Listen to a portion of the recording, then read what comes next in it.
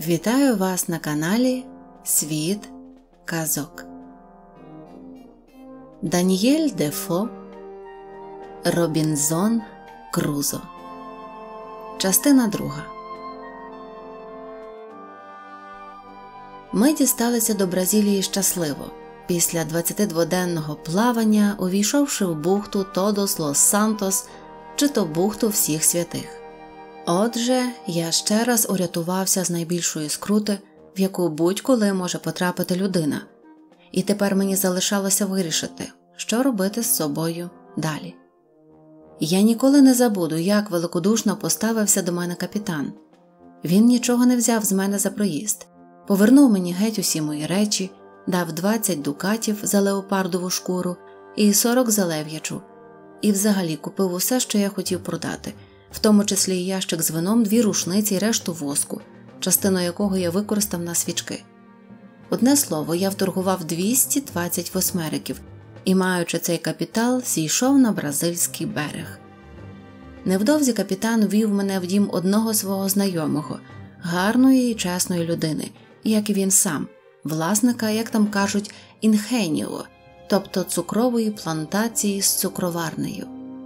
Я прожив у нього досить довго, діставши певні знання з вирощування цукрової тростини та виробництва цукру. Побачивши, як гарно живеться плантаторам і як швидко вони багатіють, я вирішив просити дозволу оселитись тут назовсім і самому стати плантатором. Разом з тим я міркував, яким чином одержати гроші, що залишилися в Лондоні.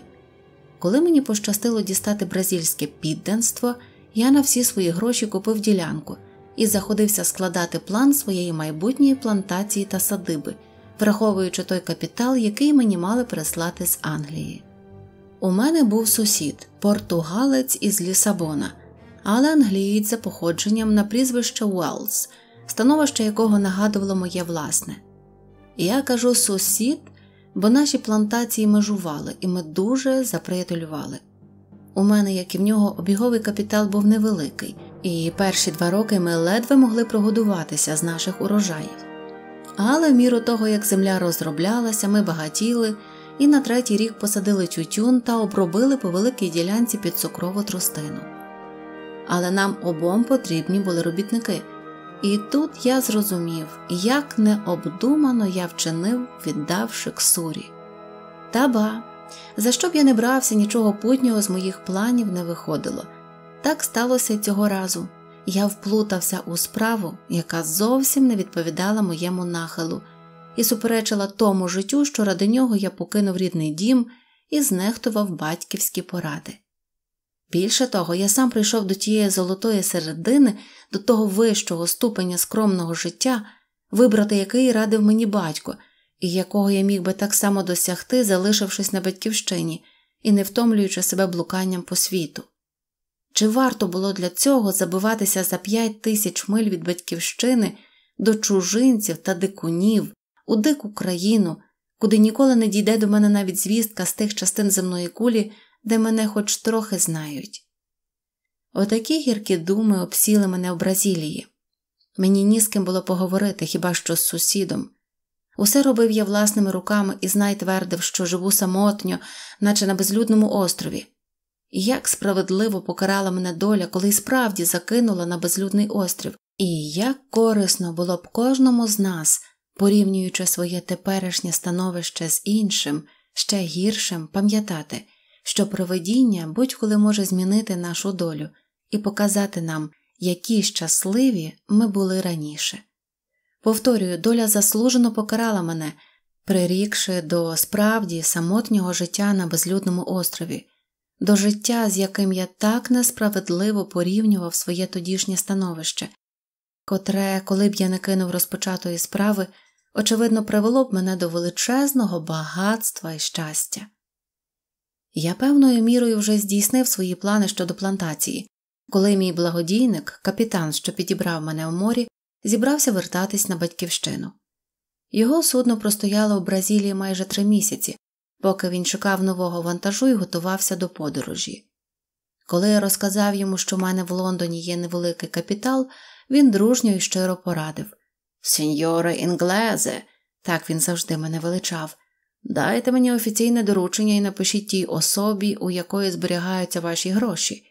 Попросіть, щоб для вас там купили товарів, які мають попит у Бразилії, і надіслали до Лісабона на адресу, яку я дам. А я, коли Бог поможе, вернусь і представлю все вам. Але в нашому житті всяке може статися. Тож я радив би на перший раз узяти тільки 100 фунтів стерлінгів, тобто половину вашого капіталу. Ризикніть спочатку цією сумою, якщо матимете зиск, то зможете так само використати й решту капіталу. Якщо ж гроші пропадуть, то у вас принаймні залишиться хоч що-небудь у запасі.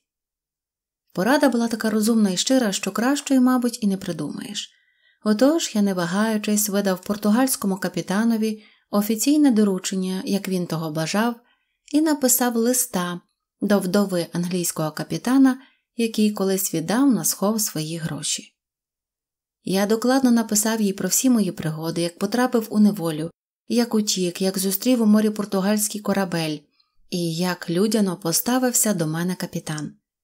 Наприкінці розповів про своє теперішнє життя і дав потрібні вказівки щодо закупки для мене товарів. Мій приятель капітан, прибувши до Лісабона, знайшов спосіб через англійських купців переслати в Лондон одному тамтешньому купцеві замовлення на товари, а також лист з докладним описом моїх пригод. Лондонський купець негайно передав обидва листи вдові англійського капітана, і вона не тільки видала необхідну суму, а й переслала від себе португальському капітанові щедрий подарунок за його людяне, співчутливе ставлення до мене. Лондонський купець, закупивши за вказівками мого приятеля капітана на всі мої 100 фунтів англійських товарів, переслав їх йому до Лісабона, а той щасливо приставив їх мені в Бразилію. Крім замовлених товарів, він на власний розсуд, бо я ще був надто недосвідчений, щоб подбати про це, купив і привіз мені різноманітне сільськогосподарське знаряддя та інший реманент, потрібний для роботи на плантації. Все це дуже стало мені в пригоді. Коли мій вантаж прибув, я не стямився з радощів, гадаючи, що майбутнє мені забезпечене. Мій благодійник, капітан витратив і ті п'ять фунтів стерлінгів, які подарувала йому вдова англійського капітана. На ці гроші він привіз мені робітника, найнявши його строком на шість років, а про якесь відшкодування й чути не хотів, і я умовив його лише прийняти невелику паку тютюну мого виробу. Але це ще було не все. Оскільки мої товари складалися з англійських мануфактур, полотна, сукна та байки, і взагалі з таких речей, які в цих краях особливо цінувались і на які завжди був попит, я розпродав їх з добрим зиском. Скажу лише, що вкладений капітал почетверився, і я значно розширив свою плантацію набагато випередивши бідолашного сусіда, бо передусім купив негра невільника і найняв ще одного робітника європейця, крім того, якого капітан привіз мені із Лісабона. Але зловживання багатством часто призводить до великих нещасть так було і зі мною.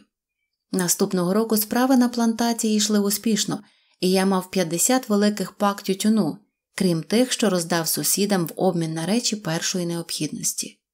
Всі ці 50 пак, кожна вагою 100 фунтів, лежали на поготові, чекаючи, коли повернеться корабель з Лісабона. Підприємство моє зростало, але що більше я багатів, то більше з'являлось у моїй голові нездійсненних задумів, тобто тих, які часто густо руйнують найкращих ділків. Коли б я задовільнився тим, що мав, то, мабуть, дочекався б життєвих радощів, про які так переконливо казав батько називаючи їх постійними супутниками тихого, скромного існування. Але мені судилась інша доля, як і раніше, я сам був винний в усіх моїх нещастях, і ніби навмисне для того, щоб збільшити мою провину і навіяти ще тяжчі думи про мою долю, віддаватись котрим я мав досить часу в моєму сумному майбутньому. Всі мої невдачі були виключно наслідком моєї непоборної пристрасті до мандрівок, хоч переді мною відкривалася найяскравіша картина корисного і щасливого життя, коли б я тільки продовжував розпочати, скориставшись усіма благами, якими так щедро обдарували мене природа та проведіння, і виконував свій обов'язок. Як і тоді, коли тікав від батьків, я й тепер не був вдоволений. Я відмовився від можливого достатку, а може, й багатства, що мала б дати нова плантація, тільки через те, що мене охопило нерозсудливе і нестримне бажання збагатіти швидше, ніж дозволяли обставини. Отже, я кинувся у таку безодню нещасть, у яку, мабуть, не попадала жодна людина, із якої навряд чи можна було вийти живим та здоровим. Тепер докладно розкажу, що сталося далі. Проживши в Бразилії майже 4 роки і значно збільшивши вартість своєї плантації, я цілком зрозуміло не тільки вивчив іспанську мову, а й познайомився та заприятелював з моїми сусідами, плантаторами, а також з купцями із Сан Сальвадора, найближчого до нас порту. Зустрічаючись із ними, я часто розповідав про дві мої подорожі до узбережжя Гвінеї, про торгівлю з тубільцями і про те, як легко там за дрібничку, за якесь намисто, іграшка, ножі, ножиці, сокири, дзеркальця тощо придбати не тільки золотий пісок, зерно і слонову кістку, але й велику кількість негрів-невільників для роботи в Бразилії. Мої оповідання вони слухали дуже уважно, особливо коли йшлося про купівлю негрів. За тих часів работоргівля була дуже обмежена і потребувала так званого асьєнто, тобто дозволу від іспанського або португальського короля. Тому негри-невільники траплялися рідко і коштували силу грошей. Якось зібралося велике товариство, я, кілька моїх знайомих плантаторів і купців, і ми жваво бесідували на цю тему. Наступного ранку троє з моїх співбесідників з'явилися до мене і заявили, що, добре обміркувавши усе сказане мною напередодні, вони прийшли зробити мені таємну пропозицію. Взявши з мене слово, що наша розмова залишиться між нами, вони сказали, що мають на думці послати до Гвінеї корабель, що вони, як і я, мають плантації і нічого не потребують так, як робочих рук, що торгувати невільниками надто непевна справа і що вони не зможуть відкрито продавати негрів, повернувшись до Бразилії. А тому думають зробити тільки один рейс, потай привезти негрів і розподілити їх між собою для роботи на плантаціях. Питання полягало лише в тому, чи я згоджуся піти до них на корабель судновим приказчиком, тобто узяти на себе закупівлю негрів у Гвінеї. Вони запропонували мені однакову з іншими кількість негрів, причому мені не треба було нічого вкладати в цю справу. Це була слід визнати чудова пропозиція, коли б її зробили людині, що не має власної плантації, яку треба доглядати, в яку вкладено багато грошей, і яка з часом обіцяла стати дуже прибутковою. Але для мене, власника такої плантації, кому було слід тільки ще років 3-4 продовжувати розпочати, одержавши з Англії решту своїх грошей, разом з цим невеличким додатком мій капітал становив би тисячі чотири фунтів стерлінгів і зростав би й далі. Для мене навіть думати про таку подорож було нечуваним безглуздям. Однак мені судилося бути винуватцем власної загибелі. Як і тоді, коли я не мав сили подолати своїх бродяжницьких нахилів і не послухався добрих порад батька, так і тепер я не міг опиратись зробленій мені пропозиції. Коротше кажучи, я відповів плантаторам, що охоче поїду, коли на час моєї відсутності вони візьмуться доглядати моє майно і розпорядяться з ним за моїми вказівками, якщо я не повернуся. Вони урочисто пообіцяли мені все це виконати, скріпивши нашу угоду письмовим зобов'язанням. Я ж склав формальний заповіт на випадок моєї смерті. Свою плантацію та рухоме майно я відписав португальському капітанові, який врятував моє життя, але зробив застереження, що половину мого капіталу він відіслав до Англії. Одно слово, я вжив усіх заходів, щоб зберегти своє рухоме майно і підтримати порядок на плантації. Коли б я виявив хоч частку такої мудрої обачності щодо себе, коли б я так само тверезо судив про те, що повинен і чого не повинен робити, то, певне, не кинув би цього вдало розпочатого діла, не знехтував би такими великими надіями на успіх і не пустився б у море з його повсякчасними небезпеками, не кажучи вже про те, що в мене були особливі підстави сподіватись усякого лиха від майбутньої подорожі. Але мене квапили, і я сліпо скорився велінням своєї фантазії, а не голосу розуму. Отже, корабель було споряджено, навантажено відповідними товарами і все влаштовано за взаємною угодою учасників експедиції. Лихої години, 1 вересня 1659 року, я ступив на корабель. Саме того дня, як і вісім років тому, коли я втік від батька та матері в гуль, того дня, коли я повстав проти батьківської волі і так безглуздо розпорядився своєю долею. Наше судно мало щось із 120 тонн місткості. На ньому було 6 гармат і 14 чоловік екіпажу, не рахуючи капітана, юнги та мене. Важкого вантажу у нас не було, і весь він складався з різних дрібних виробів, які звичайно вживають для торгівлі з неграми, із намиста, шматочки скла, черепашок, дзеркалець, ножів, ножиць, сокир тощо. Того самого дня, коли я ступив на корабель, ми знялися з якоря і попливли на північ вздовж побережжя Бразилії, розраховуючи повернути до африканського берега, коли досягнемо 10 або 12 градуса північної широти. Такий був тоді звичайний курс кораблів. Весь час, поки ми держались наших берегів до самого мису святого Августина, стояла гарна погода, тільки було дуже жарко. Від мису святого Августина ми повернули у відкрите море і скоро згубили землю з очей. Ми йшли приблизно на острів Фернандо ді Норонья, тобто на північно-північний схід, залишаючи цей острів з правого борту. На 12-й день ми перетнули екватор, і за нашими останніми спостереженнями були вже під 7 градусів 22 минути північної широти, коли на нас несподівано налетів жорстокий шквал. То був справжній ураган. Він знявся на південному сході, потім повернув у протилежний бік і нарешті задув з північного сходу з такою страшною силою, що протягом 12 днів ми тільки мчались за вітром і, пустившись на призволяще, пливли туди, куди нас гнала люта стихія. Нема чого й казати, що всі ці 12 днів я щохвилини чекав смерті, та й ніхто на кораблі не сподівався, що залишиться живим. Та мучив нас не тільки жах перед бурею. Один з наших матросів помер від тропічної пропасниці, а ще двох матроса та юнгу змило в море. На дванадцятий день шторм почав ущухати, і капітан проробив якомога точніше виміри. Виявилось, що ми перебуваємо приблизно під 11 градусом північної широти, але нас віднесло на 22 градуси на захід від мису святого Августина.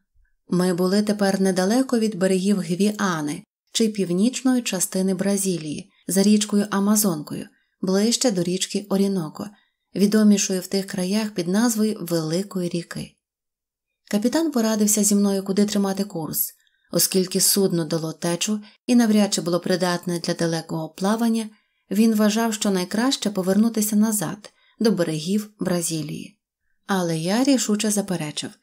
Кінець кінцем, вивчивши карти берегів Америки, ми побачили, що аж до Карибських островів нам не трапиться жодної заселеної країни, де можна було б знайти допомогу, і тому вирішили йти на Барбадос, до якого, за нашими розрахунками, можна було добратись за два тижні, бо нам довелося б трохи збочити, щоб не потрапити в течію мексиканської затоки. Отже, до берегів Африки ми пливти не могли, бо корабель треба було лагодити, а екіпаж поповнити. Тому ми змінили курс і стали тримати на північно-західний захід, маючи на думці добратися до якогось із островів, що належали Англії, і дістати там допомогу. Але доля вирішила інакше. Коли ми досягли 12 градусів 18 минут північної широти, налетів другий шторм. Він так само, як і перший, навально погнав нас на захід і відніс так далеко від торгівельних шляхів, що якби ми навіть не загинули від розбурханої стихії, то однаково нас би з'їли людожери, бо вернутись на батьківщину не було надії.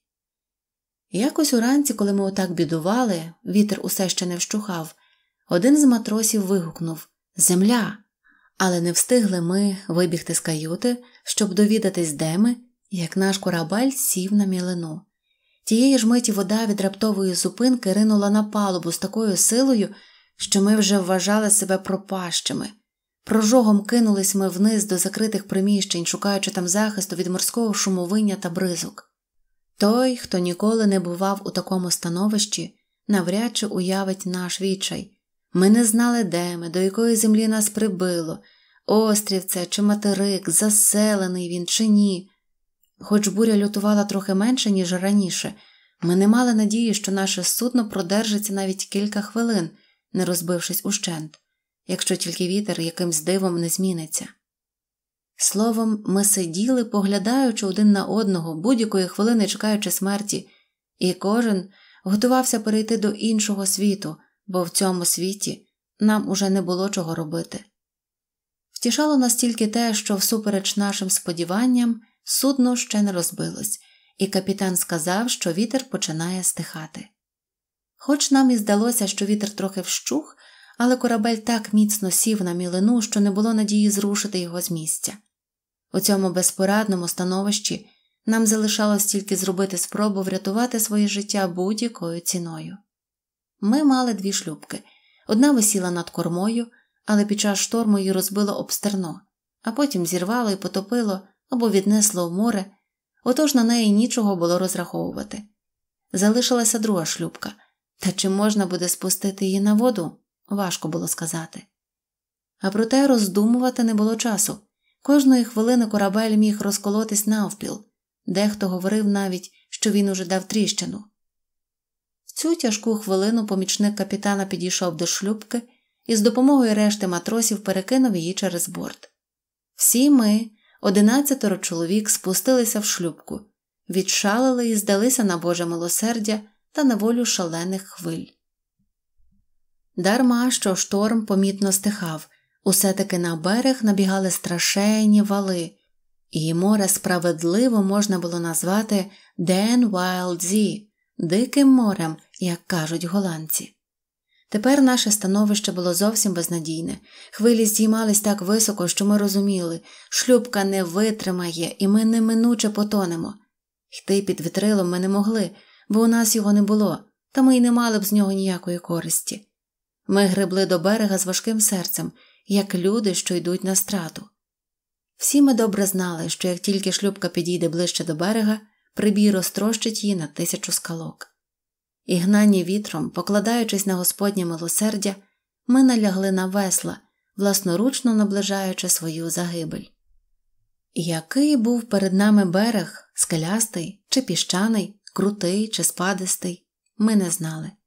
Єдиною слабкою надією на порятунок була можливість потрапити до якої небудь бухточки, затоки чи гирла річки, де хвилі менші і де ми могли б сховатись під берегом з затишного боку. Але спереду не було видно нічого схожого на затоку, і чим ближче ми підходили до берега, тим страшнішою здавалася нам земля, страшнішою навіть за море.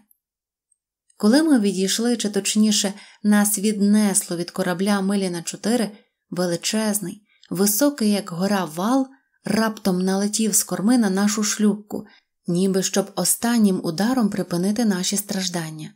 Шлюбка вмить перекинулася, ми не встигли навіть скрикнути Боже, як опинилися у воді далеко і від шлюбки, і один від одного. Не можна описати душевне сум'яття, яке охопило мене, коли я занурився у воду. Я дуже добре плаваю, а проте не зміг відразу вирнути і мало не захлинувся. Хвиля ж, підхопивши мене, покотилась далеко в напрямі до берега, розбилась і відлинула назад, залишивши мене на мілкому місці, напівмертвим від води, якої я наковтався. Мені вистачило самовладання настільки, що, побачивши суходіл набагато ближче, ніж я думав, я схопився на ноги і мерщі кинувся бігти, намагаючись дібратись до берега раніше, ніж набіжить і підхопить мене друга хвиля, але швидко побачив, що мені від неї не втекти. Море йшло горою і наздоганяло мене, мов розлючений ворог, змагатися з яким я не мав ні сили, ні засобів. Лишалося тільки, затримавши подих, виринути на гребінь хвилі і щосили пливти до берега. Найбільше старався я, щоб хвиля, піднісши мене ще ближче до берега, не захопила мене знову, вертаючись у море. Наступна хвиля відразу поховала мене футів на 20-30 під водою. Я відчув, як мене підхопило і з надзвичайною силою та швидкістю помчало до берега. Я затримав подих і поплив за водою, щосили допомагаючи течії. Я вже задихався, коли раптом відчув, що підіймаюсь угору. Незабаром, на велику мою полегкість, мої руки і голова опинились над водою, і, хоч секунди за дві налетіла інша хвиля, короткий перепочинок надав мені сили та мужності. Мене знову накрило з головою, але ненадовго. Коли хвиля розбилась і відійшла, я не дав їй потягти себе назад, а поплив до берега і незабаром відчув під ногами дно. Я постояв кілька секунд, щоб відсапатись, і з останніх сил прожогом побіг до берега. Але й тепер я ще не втік від розлюченого моря, воно знову кинулось навздогін за мною. Ще двічі мене підхоплювало і несло далі й далі до берега, який тут був дуже положистий. Останній вал трохи не став для мене фатальним. Підхопивши мене, він виніс чи точніше шпурнув мене на скелю з такою силою, що я знепритомнів, ставши зовсім безпорадним. Удар у бік та в груди зовсім забив мені дух, і коли б море знову підхопило мене, я неминуче захлинувся б. На щастя, я прийшов до пам'яті саме вчасно. Побачивши, що зараз мене знову накриє хвилею, я міцно вчепився за виступ скелі і, затримавши скільки мога подих, вирішив перечекати, поки хвиля спаде. Ближче до берега хвилі були не такі високі, і я, переждавши одну, знову кинувся бігти і опинився так близько від берега, що наступна хвиля, хоч і перекотилася через мене, але не могла вже підхопити і винести мене назад у море. Пробігши ще трохи, я на велику радість відчув себе на суходолі і, видершись на прибережній скелі, сів на траву. Тут я був у безпеці, море не могло дістати до мене. Опинившись на березі живим і здоровим, я звів очі до неба і подякував Богові за порятунок, хоч кілька хвилин тому я вже втратив був останню надію. Думаю, немає таких слів, якими можна було б правдиво змалювати захоплення і поривання людської душі, врятованої, сказав би я, самої могили, і я ані трохи не дивуюся тому, що коли оголошують помилування злочинцеві, який стоїть уже із зашморгом на шиї і от-от має повиснути, то завжди при цьому присутній лікар, щоб пустити йому кров, бо від несподіваної радості у помилуваного може зупинитися серце. Неждана радість, як і жаль, вражають розум. Я ходив по березі, здіймав руки до неба і робив ще тисячу жестів і рухів, яких не можу тепер описати. Все моє єство, якщо можна так висловитися, було перейняте думками про порятунок. Я думав про своїх товаришів, які всі потонули, і про те, що ніхто, крім мене, не врятувався. Принаймні нікого з них я більше не бачив, від них не залишилося й сліду, крім трьох капелюхів, одного кашкета та двох непарних черевиків. Глянувши туди, де на мілині стояв наш корабель, я ледве міг розгледіти його за пінявими валами. Так він був далеко, і сказав собі Боже, яким дивом я вибрався на берег. Натішившись думками про порятунок від смертельної небезпеки, я почав роздивлятися навкруги, щоб довідатись, куди потрапив і що маю робити далі. Мій радісний настрій відразу ж підупав, бо я зрозумів, що, хоч і врятувався, але не втік від подальших страхів та лих. Я змог до рубця, переодягнутись не було в що, я не мав ні їжі, ні води, щоб підкріпити свої сили. Отож я або помру з голоду, або мене роздеруть хижі звірі, і що найгірше, я не мав зброї і не міг ні полювати на дичину, щоб забезпечити себе харчами, ні боронитись від хижаків, які захочуть напасти на мене. Взагалі у мене не було нічого, крім ножа, люльки та бляшанка з тютюном. То було все моє майно. На саму думку про це я впав у такий розпач, що довго бігав, мов божевільний по березі. Коли настала ніч, я за вмиранням серця питав себе, що мене чекає, коли тут водяться хижі звірі, адже вони завжди виходять на полювання вночі. Єдине, що я міг тоді придумати, це вилізти на товсте гілясте дерево поблизу, схоже на ялину, але з колючками, і пересидіти на ньому ніч, а коли настане ранок, вирішити, якою смертю краще померти, бо жити тут мені здавалося неможливим. Я пройшов з чверть милі від берега вглиб подивитись, чи немає де прісної води, і на велику радість знайшов ручай. Напившись і поклавши в рот трохи тютюну, щоб угамувати голод, я вернувся до дерева, виліз на нього і постарався вмоститись так, щоб не впасти, заснувши. Потім вирізав для самооборони коротенький сучок, ніби ломачку, сів якнайзручніше і від надмірної втоми міцно заснув. Я спав так солодко, як гадаю, небагатьом спалося б на моєму місці, і, здавалось, ніколи ще не прокидався такий свіжий та бадьорий. Коли я прокинувся, уже зовсім розвиднілось. Погода прояснилась, вітер стих, і море вже не лютувало і не здіймалось. Але мене найбільше вразило те, що вночі корабель принесло припливом з мілини майже до тієї скелі, об яку мене так сильно вдарило хвилею, і тепер він стояв за милю від того місця, де я ночував. Тримався він майже рівно, і я вирішив побувати на ньому і врятувати хоч що-небудь із корисних для мене речей. Спустившись із свого пристановища на дереві, я ще раз озирнувся навкруги і найперше побачив нашу шлюбку, що лежала милі за дві праворуч від мене на березі, куди її викинуло море. Я пішов туди, сподіваючись дістатися до шлюбки, але, як виявилось, шлях перепиняла маленька затока чи бухточка з півмилі завширшки. Тоді я повернув назад, бо мені важливіше було потрапити якнайшвидше на корабель, де я сподівався знайти щонебудь для підтримки свого життя. Пополудні море зовсім заспокоїлось, і відплив був такий низький, що мені пощастило підійти до корабля на чверть милі. І тут я знову відчув напад глибокого горя, бо зрозумів, що ми всі врятувалися б, якби залишились на кораблі. Переждавши шторм, ми щасливо перебралися б на берег, і я не був би, як тепер, такою бідолашною істотою, геть позбавленою людського товариства. На цю думку сльози потекли в мене з очей, але сльозами горю не зарадиш, і я вирішив по змозі дістатися до корабля. Скинувши з себе одежу, день був дуже жаркий, я війшов у воду. Проте, підпливши до корабля, я зіткнувся з новою трудністю як на нього вилізти. Він стояв на мілині, майже весь виступаючи з води, вчепитись не було за що. Я двічі оплив круг нього і за другим разом помітив канат.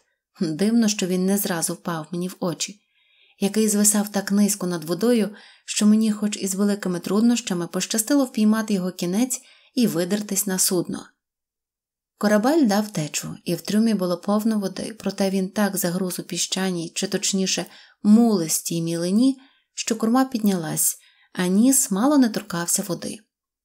Отже, вся кормова частина була вільна від води, і жодна з речей там не намокла.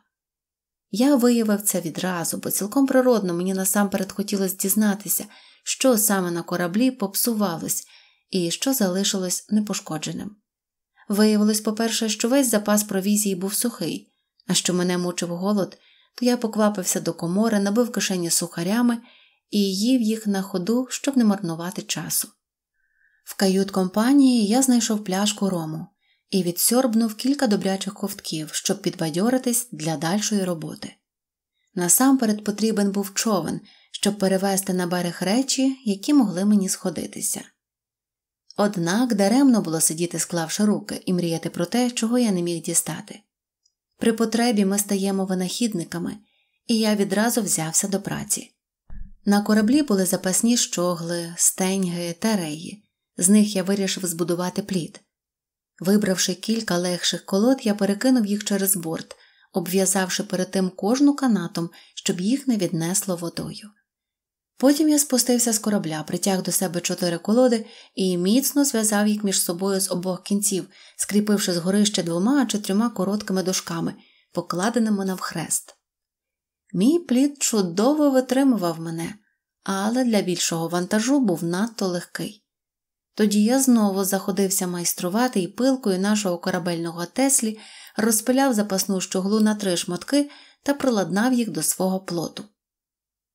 Ця робота вимагала від мене нечуваних зусиль, але бажання запастись усім потрібним для життя підтримувало мене, і я зробив те, що за звичайних обставин мені було б понад силу. Тепер мій плід був досить міцний і міг витримати чималу вагу. Далі мені треба було навантажити його і вберегти мою поклажу від морського прибою. Над цим я роздумував недовго. Насамперед я поклав на плід усі дошки, які знайшов на кораблі, а на них поставив три матроські скриньки, зламавши в них перед цим замки та спорожнивши їх. Добре зваживши, які з речей найпотрібніші, я підібрав їх і наповнив ними усі три скриньки. В одну з них я склав харчові припаси рис, сухарі, три головки голландського сиру, п'ять великих шматків в'яленої козлятини, що була на кораблі основною їжею, і рештки зерна для курей, яких ми взяли з собою і давно вже з'їли. То був ячмінь у переміж із пшеницею. На превеликий мій жаль, згодом виявилося, що його попсували пацюки. Я знайшов також кілька ящиків вин і п'ять чи шість галонів рисової горілки, що належала нашому шкіперові. Ящики я поставив просто на плід, бо в скрині вони б не вмістилися, та й не було потреби їх ховати. Тим часом, поки я робив усе це, почався приплив, і я з жалем побачив, що мій камзол, сорочку і жилет, який я поклав на березі, понесло в море. Тепер у мене лишились тільки полотняні штани до колін та панчохи, яких я не знімав, коли плив до корабля. Це примусило мене поклопотатись про одяг. На кораблі я знайшов його чимало, але взяв тільки те, що було мені в ту хвилину потрібно, бо мене значно більше спокушало багато чого іншого, насамперед робочий інструмент. Після довгих розшуків я знайшов скриньку нашого Теслі, і це була справді дорогоцінна знахідка, якої я не віддав би в той час за цілий корабель золота. Я поставив на плід цю скриньку, навіть не зазирнувши в неї, бо приблизно знав, які в ній інструменти. Тепер мені лишалося запастися зброєю та набоями. В кают компанії я знайшов дві чудові мисливські рушниці і два пістолі, які переправив на плід разом з кількома порохівницями, невеликою торбою з дробом та двома старими іржавими шпагами. Я знав, що на кораблі було три бочки пороху, тільки не знав, де їх зберігав наш канонір. Але, пошукавши добре, я знайшов усі три одна підмокла, а дві були зовсім сухі, і я перетяг їх на плід разом із зброєю. Тепер він був досить навантажений, і я почав думати, як мені добратись до берега без вітрила, весел та стерна, адже найменший порив вітру в одну мить перекинув би всю мою споруду. Три обставини допомагали мені перша рівне та тихе море, друга приплив, що мав гнати плід до берега, і третя невеличкий вітрець, що дув теж до берега. Отже, розшукавши два чи три зламаних весла від корабельної шлюбки і прихопивши ще дві пилки, сокиру та молоток, крім того знаряддя, що було в скринці, я з цим вантажем пустився в море. З милю мій плід ішов чудово. Я помітив лише, що його відносить від того місця, куди вчора мене викинуло море. З цього я зробив висновок, що там певна берегова течія, і що я можу потрапити в якусь маленьку затоку або річку, де мені буде зручно причалити з моїм вантажем. Сталося так, як я й передбачав. Незабаром спереду показалась маленька бухта, і мене швидко понесло до неї. Я правив, як умів, стараючись держатись середини течії. Але тут я мало не зазнав аварії вдруге, і якби це сталося, я їй право помер без горя. Я не знав берегів, і мій плід несподівано наскочив одним краєм на мілину і дуже перехилився, бо другий край його не мав на що спертись. Ще трохи, і весь мій вантаж зсунувся б і впав би у воду. Я щосили підпер спиною та руками свої скриньки і намагався вдержати їх на місці, але, незважаючи на всі мої зусилля, не міг зіпхнути плоту. Не сміючи поворухнутися, я простояв так з півгодини, поки приплив не підняв трохи того краю плоту, що опустився, а трохи згодом вода ще повищала, і плід сам зійшов з мілини. Тоді я відіпхнувся веслом на середину фарватеру і, здавшись на течію, яка була тут дуже сильна, опинився нарешті в гирлі невеликої річки з високими берегами. Я почав озиратися, шукаючи, де краще пристати. Мені не хотілося віддалятись від моря, бо я сподівався побачити коли-небудь на ньому корабель, і тому вирішив улаштуватись якомога ближче до берега. Аж ось на правому березі я побачив невеличку затоку і скерував до неї свій плід. З великими труднощами провів я його поперек течії і увійшов у затоку, впираючись веслом у дно. Але тут я знову мало не потопив усього мого вантажу. Берег був такий крутий, що коли б мій плід наїхав на нього одним краєм, то другий неминуче нахилився б, і мій вантаж потрапив би в небезпеку. Лишалось тільки чекати повного припливу, а поки що, упираючись веслом у дно, я тримався, мов на якорі, біля рівної площадки, гадаючи, що приплив накриє її водою. Так воно й сталося. Ледве я побачив, що води досить, бо мій плід сидів майже на фут у воді, я відіпхнув його до площадки і там закріпив двома зламаними веслами, встромивши їх у дно з обох боків. Так стояв я, поки не настав відплив, а тоді мій плід з усім вантажем опинився в безпеці на березі. Тепер мені треба було оглянути околиці і вибрати собі зручне місце для житла, де я міг би скласти своє майно, не боячись, що воно пропаде. Я досі не знав, куди потрапив на континент чи на острів, в заселену чи незаселену країну, не знав, чи загрожують мені хижі звірі, чи ні. Приблизно за півмилі від мене був горб, крутий та високий. Як видно, він був найвищий у пасмі горбків, що тяглися на північ. Озброївшись рушницею, пістолем і порохівницею, я вирушив на розвідку. Коли я з великими труднощами зійшов на вершину горба, то відразу зрозумів свою гірку долю. Я був на острові. З усіх боків розляглося море, і навкруги не видно землі, коли не рахувати кількох скель, що стриміли віддалік, та двох острівців, ще менших за мій, миль за десять на захід. Я зробив ще одне відкриття ніде не було видно ні клаптика обробленої землі. Острів, за всіма ознаками, був незаселений. Може, тут жили хижаки, однак поки що я жодного не бачив. Зате птахів була сила селенна, щоправда, зовсім мені невідомих, і коли мені пізніше траплялось підстрелити котрогось, я не міг визначити з його вигляду, чи він їстівний. Вертаючись назад, я підстрелив величезного птаха, який сидів на дереві край великого лісу. То був, певно, перший постріл, що пролунав там від початку світу.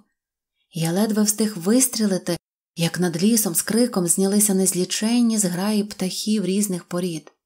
Кожен кричав по-своєму, але жоден з тих криків не нагадував відомих мені криків. Забитий мною птах, як мені здалося, був різновид нашого яструба. Він дуже скидався на яструба і забарвленням пір'я, і формою дзьоба, лише кіхті в нього були значно коротші. М'ясо птаха смерділо падлом і було неїстівне. Задовільнившись цими відкриттями, я вернувся до плоту і заходився переносити речі на берег. Це забрало в мене решту дня. Як і де влаштуватись на ніч, я не знав, а лягти просто на землю боявся, не маючи певності, що мене не загризе який-небудь хижак, хоч, як я переконався згодом, цей страх був безпідставний. Облюбувавши на березі місце для ночівлі, я обгородив його з усіх боків скриньками та ящиками, а всередині зробив щось подібне до курення. Щодо їжі, то я досі не знав, як добуватиму її, бо, окрім птахів і двох якихось звірят, схожих на нашого зайця, які вискочили з лісу на звук мого пострілу, ніякої живності я тут не бачив. Тепер я почав міркувати, як забрати з корабля все, що там лишилось, і що могло мені придатись насамперед реї, вітрила тощо. Я вирішив, коли ніщо не перешкодить, зробити ще один рейс на корабель, а знаючи, що перший же шторм розіб'є його вщент, я вирішив відкласти всі інші справи, поки не перевезу на берег усього, що зможу взяти. Я став радитися, сам із собою, звісно, чи брати мені плід. Це здалося мені непрактичним, і, дочекавшись відпливу, я пустився в путь, як і першого разу. Тільки тепер я роздягся в курені, залишившись у самій спідній картатій сорочці, полотняних підштанках та пантофлях на босу ногу. Як і першого разу я витерся на корабель канатом, потім спорудив новий плід, але, навчений вже досвідом, зробив його не таким неповоротким, як перший, і легше навантажив. І все-таки я перевіз на ньому багато корисних речей. По-перше, все, що знайшлося в припасах нашого Теслі, два чи три мішки з великими і дрібними цвяхами, велику викрутку, десятків два сокир, а головне таку корисну річ, як точило. Потім я взяв кілька речей з комори нашого каноніра, в тому числі три залізні ломи, два барила з рушничними кулями, сім мушкетів, ще одну мисливську рушницю, трохи пороху, великий лантух з дробом і рулон листового свинцю. Але свинець був такий важкий, що я не мав сили підняти його і спустити на плід. Крім перелічених речей, я забрав з корабля весь знайдений одяг, запасне вітрило, гамак та кілька постель. Усе це я навантажив на плід і, на велике своє задоволення, перевіз на берег непошкодженим. Я трохи побоювався, щоб за час моєї відсутності які-небудь хижаки не знищили моїх харчових запасів, але, вернувшись на берег, я не побачив ніяких слідів непроханих гостей. Тільки на одній скринці сиділо якесь звірятко, схоже на дику кішку. Коли я підійшов ближче, воно відбігло вбік, зупинилось, присіло на задні лапи і спокійнісінько дивилось мені просто у вічі, ніби показуючи, що хоче познайомитись зі мною. Я націлився на нього з рушниці, але воно, не здогадуючись про небезпеку, нітрохи не злякалось і навіть не ворухнулось. Тоді я кинув йому шматок сухаря, хоч і не дуже міг бути марнотратним, оскільки мої харчові запаси були невеликі. Проте я дав йому той шматочок, і воно підійшло, обнюхало сухар, з'їло його, задоволено облизалося і глянуло на мене, ніби сподіваючись ще одного. Та я подякував за честь і більше нічого йому не дав, тоді воно пішло собі геть. Приставивши на берег другу партію вантажу, я хотів був відкрити бочки з порохом і попереносити його частинами, оскільки бочки були надто важкі та великі. Однак спершу я заходився споруджувати невеликий намет із вітрила та жардин, які виробив для цього в лісі. До намету я переніс усе, що могло попсуватись від сонця та дощу, а навколо громадив порожні ящики та бочки на випадок несподіваного нападу людей чи звірів. Вхід до намету я загородив великою скринею поставивши її боком, а зсередини заклав дошками. Далі розстелив на землі постіль, в головах поклав два пістолі, а коло себе рушницю і ліг. З того дня, як розбився корабель, я вперше лежав на постелі. Від великої втоми я міцно проспав до самого ранку, бо минулої ночі спав дуже мало і весь день працював, вантажачи речі з корабля на плід, а потім перевозячи їх на берег. Мабуть, ні в кого не було такого величезного складу різних речей, як тоді у мене. Але мені все було мало, поки корабель був цілий і стояв на тому самому місці, поки на ньому залишалася хоч єдина річ, якою я міг скористатись, я вважав за потрібне поповнювати свої запаси. Щодня під час відпливу я вирушав на корабель і що-небудь привозив з собою. Найщасливішою була моя третя поїздка. Я розібрав усі снасті, взяв з собою всі мотузки та канати, що могли вміститись на плоті, величезний клапоть запасної парусини, що зберігався для лагодження вітрил, та бочку з підмоклим порохом, яку я минулого разу залишив на кораблі. Нарешті я переправив на берег геть усі вітрила, від першого до останнього, тільки мені довелося порізати їх на шматки і перевозити частинами. Як вітрила, вони були вже непридатні і вся їхня цінність для мене полягала в парусині. Але найбільше я зрадів ось з чого. Після п'яти чи шести таких поїздок, коли я думав, що на кораблі вже немає більше чим поживитись, я несподівано знайшов велику бочку з сухарями, три баклаги рому, ящик цукру і барило чудової крупчатки. Це була приємна несподіванка. Я більше не розраховував знайти на кораблі якусь провізію, гадаючи, що решта запасів підмокла. Сухарі я вийняв із бочки і потроху переніс на плід, загортаючи в парусину. Все це пощастило мені перевезти на берег непошкодженим. Другого дня я зробив ще одну поїздку. Забравши з корабля всі речі, які під силу підняти одній людині, я взявся до канатів. Порізавши їх на шматки такої довжини, щоб мені було не дуже важко справитися з ними, я перевіз на берег два канати і швартов.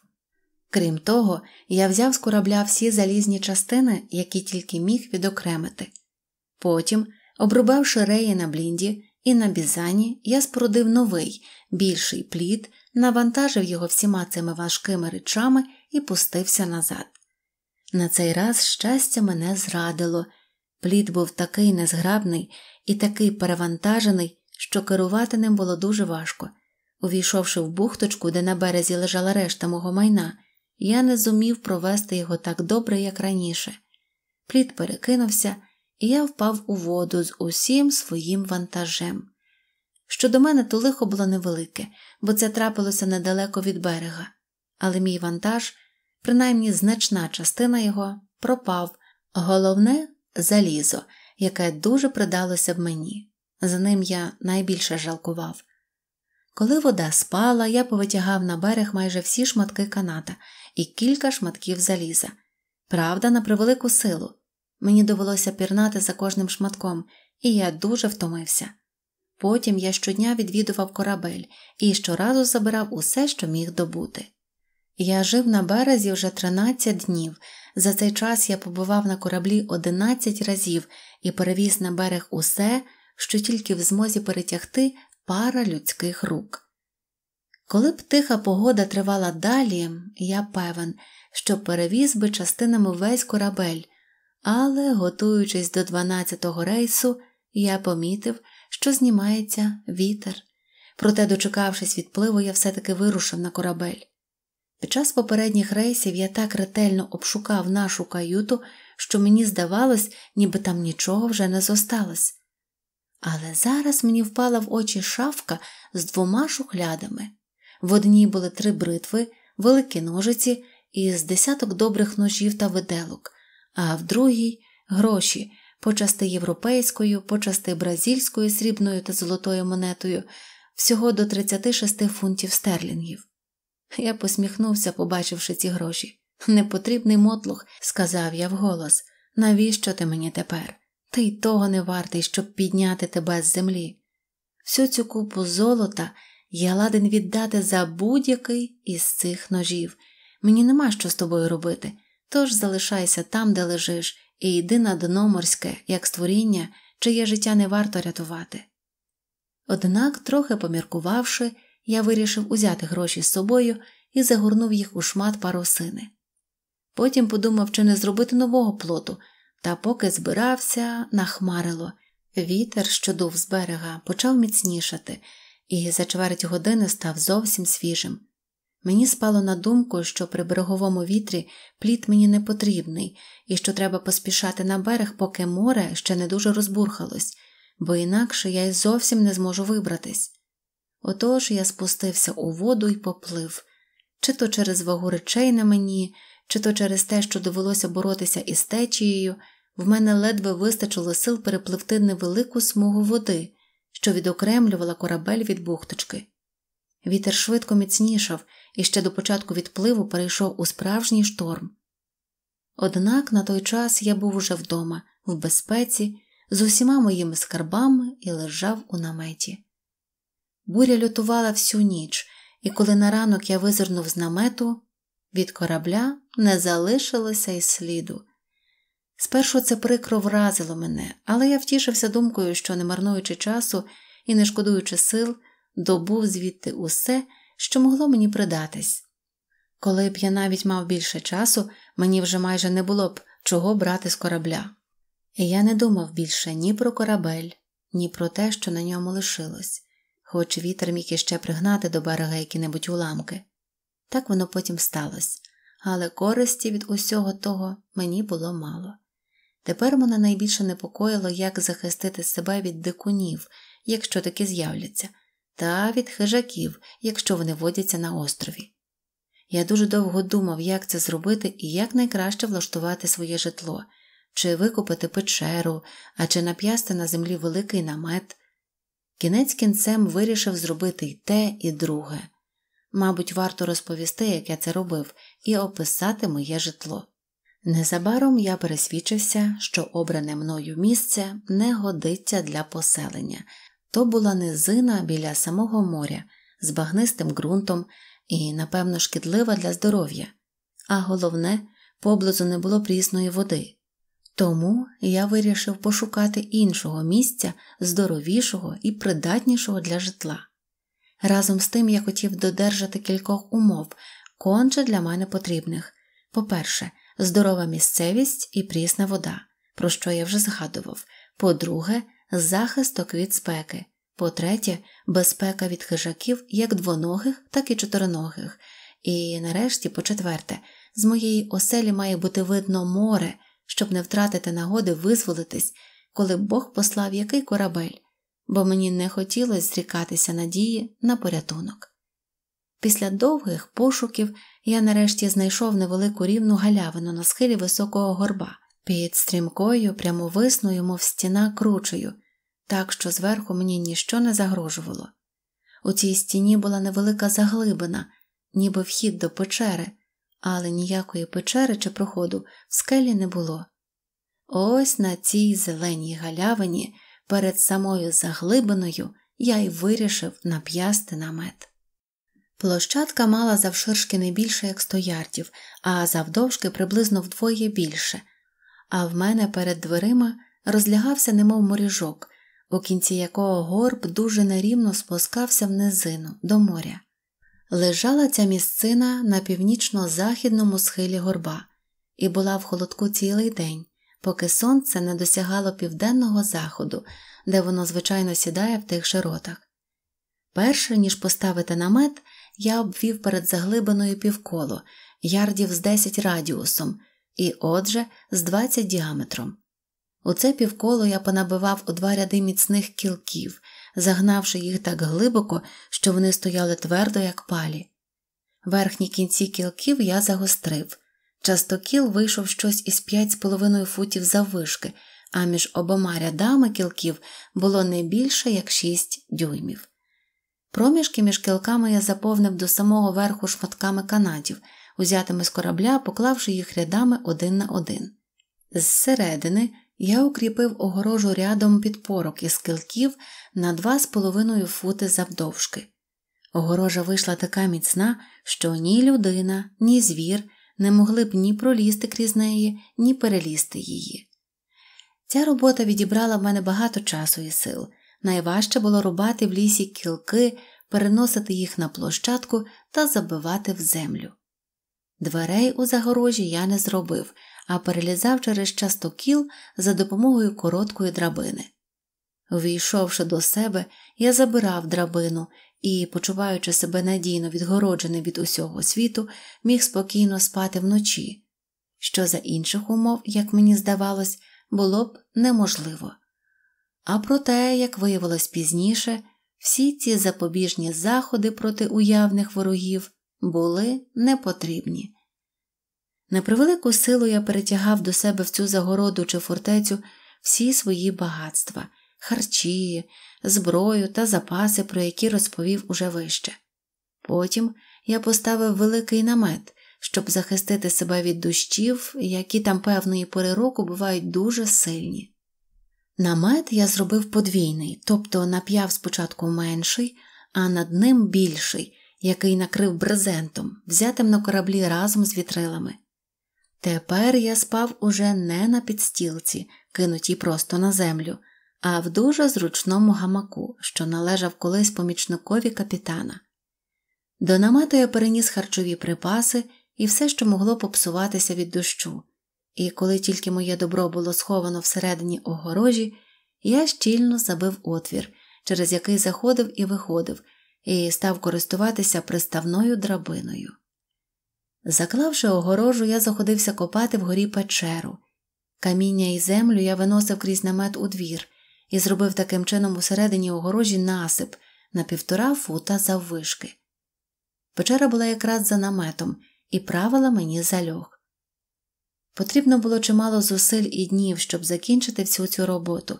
За цей час багато іншого відвертало мої думки, і трапилося кілька пригод, про які я хочу розповісти.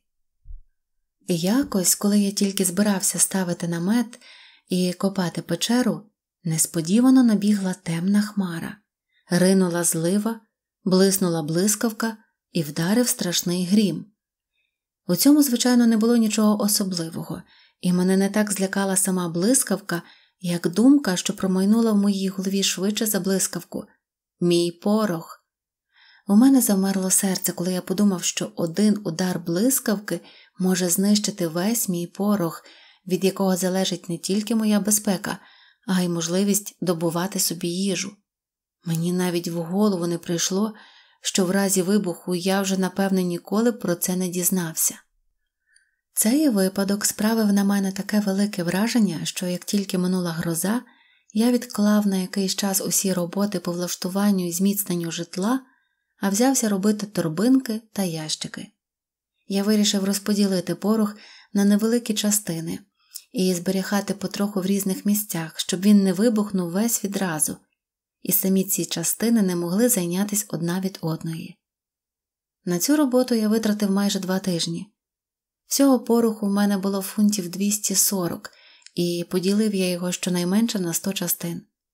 За бочку з намоклим порохом я не турбувався, і тому поставив її в свою печеру чи кухню, як я її подумки називав. Торбинки і ящики я сховав у розколенах скель, куди не проходила вогкість і дуже ретельно позначив кожне місце. У перервах між цими заняттями я принаймні раз на день виходив з рушницею, щоб розважитись, е, підстрелити яку дичину і познайомитися з природними багатствами острова.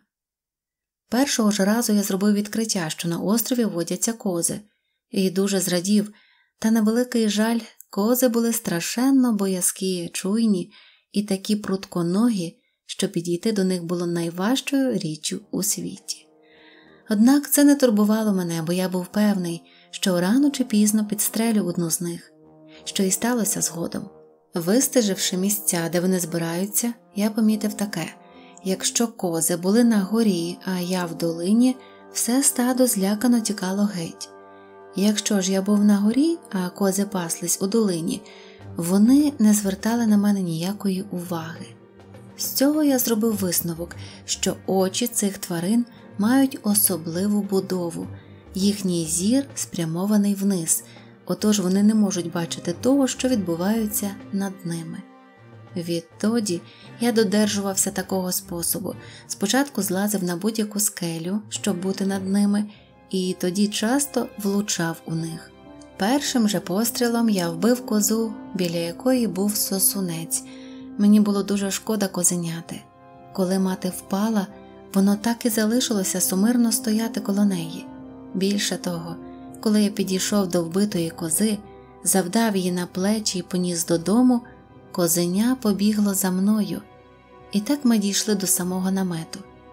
Я поклав козу на землю перед огорожею, взяв на руки козеня і пересадив його через частокіл, сподіваючись вигодувати його і приручити, але воно ще не вміло їсти само, і мені довелося забити і з'їсти його.